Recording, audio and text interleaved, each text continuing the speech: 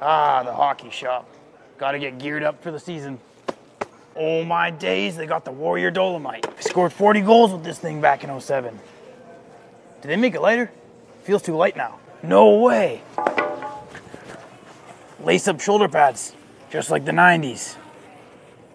Hyperlite 2, this thing's way too comfortable and light.